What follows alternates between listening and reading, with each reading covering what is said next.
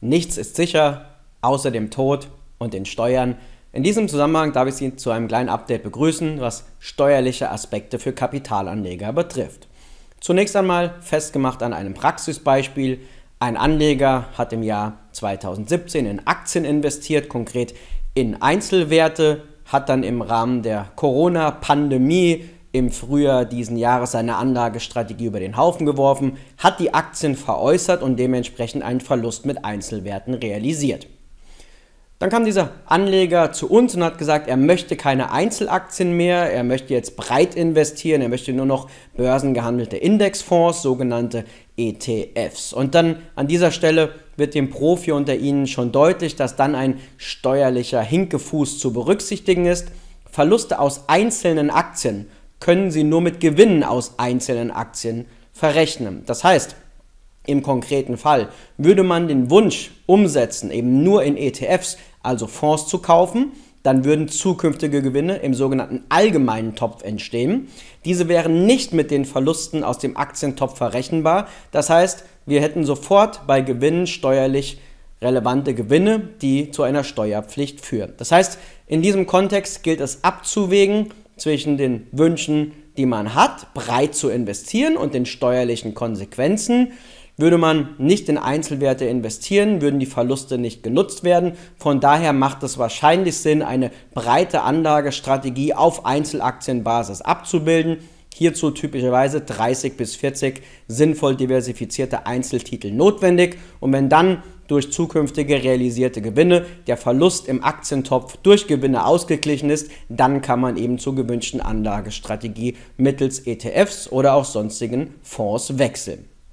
Ein anderes Thema, was durchaus erfreulich ist, seit der Einführung der Investmentsteuerreform zum 01.01.2018 werden Investmentfonds neu besteuert. Ein wesentlicher Aspekt ist der, dass wir eine sogenannte Vorabpauschale haben, die konkret für thesaurierende Fonds gilt. Und hier ist es ganz wichtig, welcher Basiszins zugrunde gelegt wird. Und das habe ich Ihnen mal mitgebracht für das Jahr 2020 und wir sehen, das Niedrigzinsumfeld hat hier seine Auswirkungen.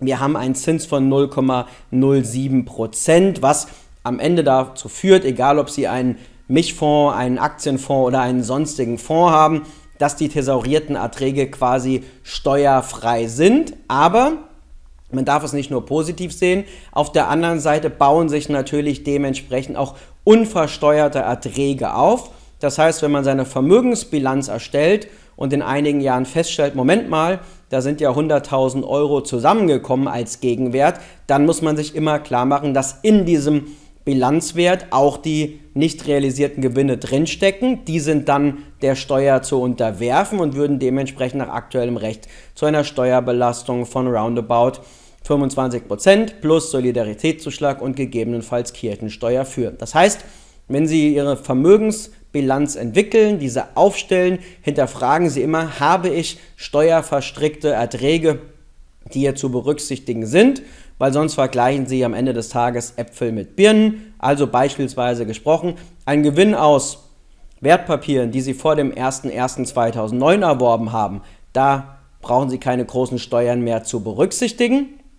Bei Wertpapieren, die Sie nach dem 01.01.2009 erworben haben, haben wir durchaus diese Verstrickung zu berücksichtigen. Ansonsten ein großes Thema, es gibt keine steuerfreien Erträge mehr. Ist das wirklich so? Sie haben heute immer noch die Möglichkeit, steuerfreie Erträge zu erzielen, beispielsweise bei durch Edelmetallen gedeckten Wertpapieren haben wir den Fall, dass diese nach zwölf Monaten steuerfrei sind. Bei Fremdwährungskonten, die keine Zinsen aufweisen, haben wir ebenfalls die Spekulationsfrist von zwölf Monaten. Aber Sie können auch durchaus Wertpapierstrategien durch einen Versicherungsmantel, durch eine Versicherungsanlage und eine geschickte Vertragskonstellation so strukturieren, dass sie eine sogenannte einkommensteuerfreie Todesverleistung erzielen und dann haben sie letztendlich auch den kompletten Vermögensaufbau, die hoffentlich positive Vermögensveränderung steuerfrei gestellt. Dazu gibt es natürlich eine Bedingung, insbesondere sollten die Kosten des Versicherungsvertrages ordentlich äh, auf einem ordentlichen Niveau sein, also nicht zu hoch sein. Und das Ganze können Sie sehr einfach steuern. Wenn Sie Angst vor Interessenskonflikten haben, suchen Sie einfach einen Berater, für den es keine Rolle spielt, ob Sie das Geld im Depot, in einer Versicherungsstruktur, in einer Personengesellschaft, einer Kapitalgesellschaft oder vielleicht auch einer Stiftung anlegen, weil ohne Interessenskonflikt wissen Sie eben immer, dass derjenige Sie neutral berät. Ein anderes Thema, was insbesondere die Unternehmer unter Ihnen treffen kann. Sie haben vielleicht die Begriffe Verwaltungsvermögen schon einmal gehört. Insbesondere das junge Verwaltungsvermögen ein Thema. Stellen wir uns die folgende Konstellation vor. Sie bekommen die Mitteilung, dass Ihre Bank eine Verwahrgebühr respektive Strafzinsen erheben möchte für Kontoguthaben.